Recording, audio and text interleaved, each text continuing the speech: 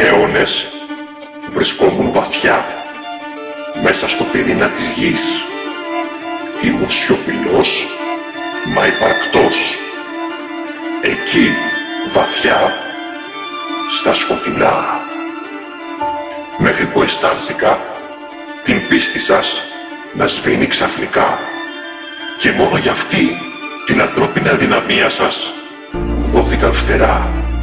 Φτερά για να έρθω σε εσάς κοντά.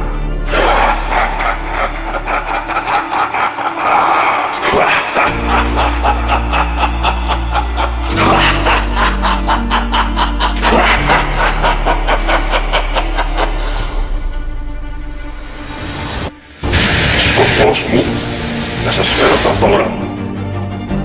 Τον φόβο, τον τρόμο,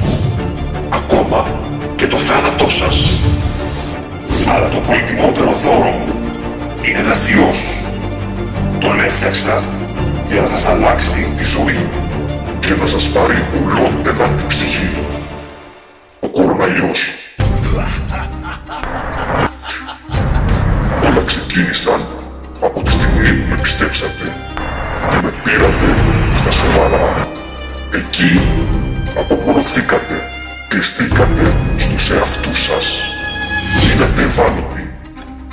Εκεί λοιπόν μου δώσατε τροφή για την ίδια σας τη ζωή.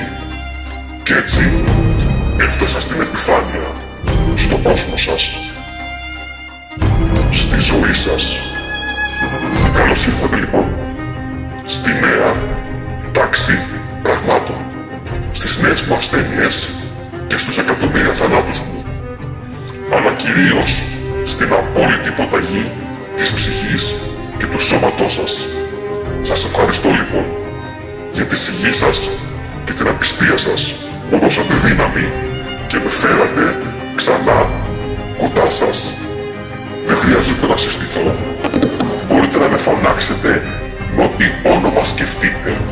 Εγώ θα γυρίσω να σας δω. Αυτό είναι το μόνο σίγουρο